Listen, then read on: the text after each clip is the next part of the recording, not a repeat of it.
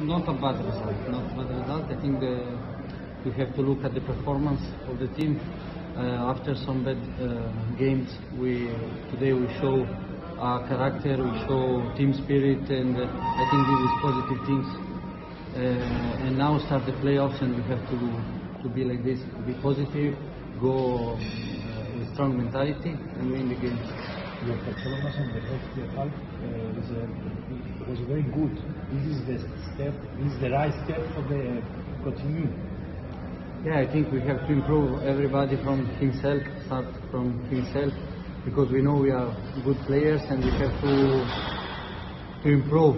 Uh, now we have also to a little bit more time to train and to know better what the coach wants from us. And I think uh, we we can start with uh, with, with, with a good uh, streak of win. Uh, do you think it was the system you played today, the 3-4-3, that made the difference? You played better.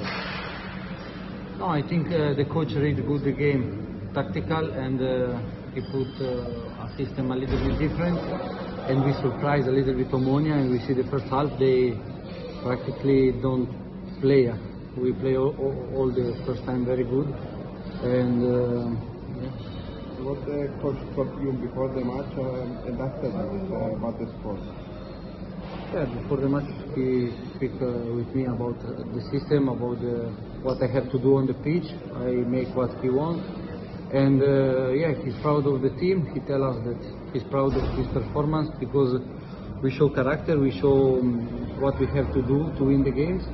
And today, a little bit, we um, fail a little bit more uh, confidence in the last 20 meters to just score one goal. Because if we score one goal, I think we win this game.